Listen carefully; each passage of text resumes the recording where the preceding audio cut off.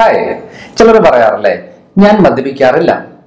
പക്ഷെ എനിക്ക് എന്തുകൊണ്ടാണ് ഈ ലിവർ സിറോസിസ് വന്നത്? എനിക്ക് എന്തുകൊണ്ടാണ് ഈ ഫാറ്റ് ലിവർ വന്നത്? ഈ മദ്യപിക്കുന്ന ആളുകൾക്ക് വരുന്ന ഈ ഫാറ്റ് ലിവർ എന്റെ ഗ്രേഡ് ടു ആണ് ഗ്രേഡ് ത്രീ ആണ് എന്റെ ഫാറ്റ് ലിവർ എന്ന് പറയുന്നവരുണ്ട്. അത് എങ്ങനെയാണ് വരുന്നത്? നോൺ ആൽക്കഹോളിക് ഫാറ്റ് ലിവർ ആണ് എന്റെത് എന്നൊക്കെ പറയാറുണ്ട്. പക്ഷെ ഇതിനകത്ത് വലിയ ഡിഫറൻസ് ഒന്നുമില്ല. കാരണം എന്താ? ഫോമറ്റഡ് ആയിട്ടുള്ള ഒരു ഗ്ലൂക്കോസിനെയാണ് നമ്മൾ മദ്യം എന്ന് പറയുന്നത്.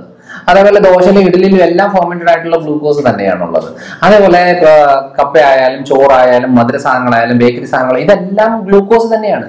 മദ്യത്തിന്റെ രൂപത്തിൽ കിട്ടുന്നത് എന്റെ പ്രൊഡക്റ്റ് ഗ്ലൂക്കോസ് ആണ്. ചോറി കഴിക്കുമ്പോൾ എന്റെ പ്രൊഡക്റ്റ് ഗ്ലൂക്കോസ് ആണ്. കപ്പ കഴിക്കുമ്പോഴും അതേപോലെ മധുര സാധനങ്ങളിലും ബേക്കറിയിലും ഫാസ്റ്റ് ഫുഡുകളിലെല്ലാം ഗ്ലൂക്കോസ് തന്നെയാണുള്ളത് അപ്പൊ ഞാൻ മദ്യം കഴിക്കുന്നില്ല എന്ന് പറഞ്ഞിട്ട് കാര്യമില്ല.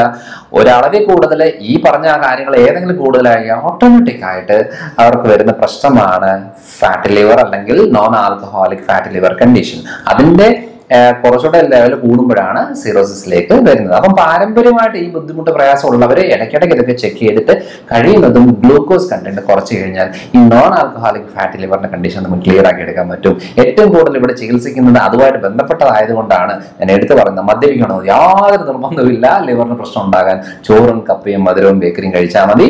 ധാരാളം.